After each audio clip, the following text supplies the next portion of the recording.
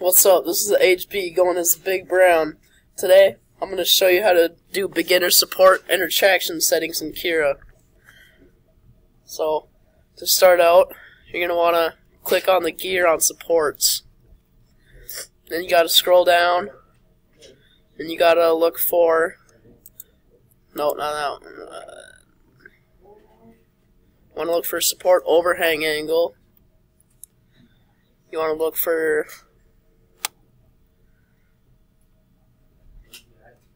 and you also want to look for support top distance and bottom distance. You could also use support Z distance. And then you're going to want to click enable support roof and floor. Then support floor thickness for both those. And that is all. Alright, now you want to click this arrow, generate support. First you gotta add a print in though.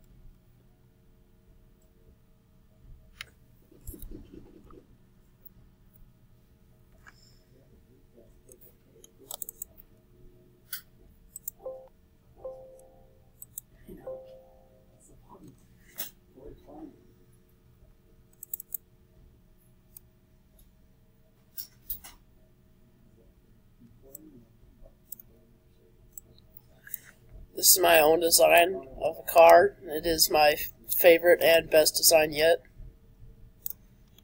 Although it is a truck and not a car, and it was made by me, not anybody else. Don't let anybody tell you different, because it was made by me. Not some kid in Cloquet Middle School. Alright, so now you want to enable support floor and roof.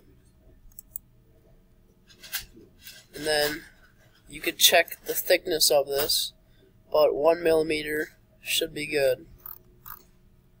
You also want to open up quality, where it says layer height, 0.2 millimeters. That's going to be the thickness of your layers. That is also the unit that you're going to go by for the Z distance. So, if you want to make more distance, you can't go up 0.1, you have to go up 0.2. So you could change this right now to 0.6, or you could just keep it at 0.4. That should be a good distance for this. And you can also change where it is. If you want it just touching the build plate and not other parts of the print, like maybe you don't want support here, but you do want support here, you can do that. You can also change the support overhang angle. 45 is a good amount to have it at. You also can click here and click on layers to see the support.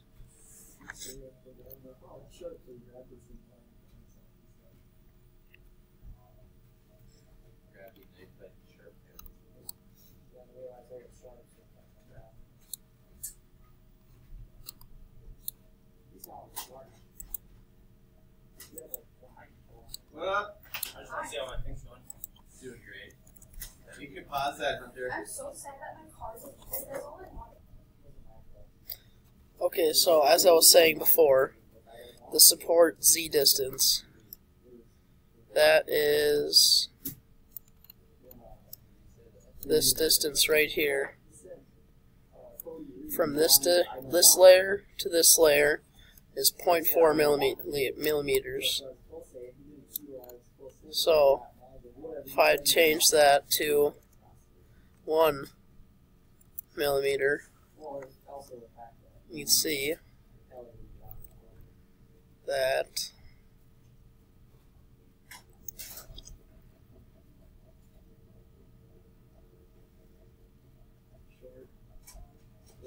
you can see that this is much thicker than it was before. But once again, 0.4 millimeters should be a good thickness or distance. And back to. Now the other thing you can do is support density. You can also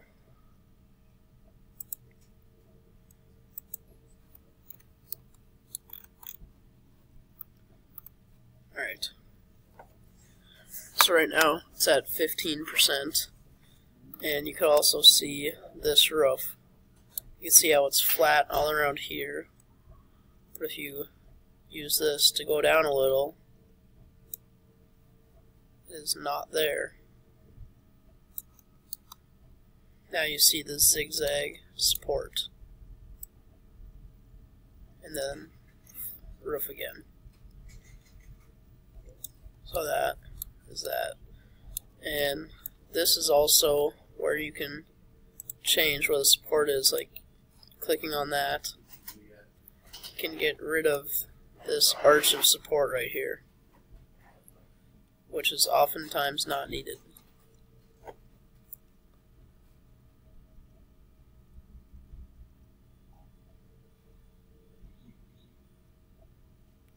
As you can see, this pretty. disappeared now. But if we look at this shell, we should not need that support there because there are no overhangs that could droop. Too bad. This is going to go straight across. Another support you could use is called something like make overhangs printable, which is alright. If you go into experimental, you can see make overhang printable. You can click on that. Oh, many boxes. If you select make overhang printable, it will make this overhang well printable.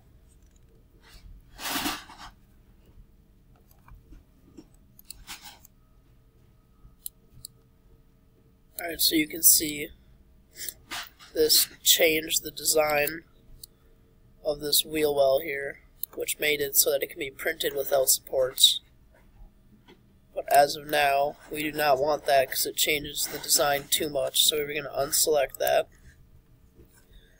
So now we got all of our support settings, and they should be pretty good now. But we also are going to want to change our traction settings a little bit, which will be in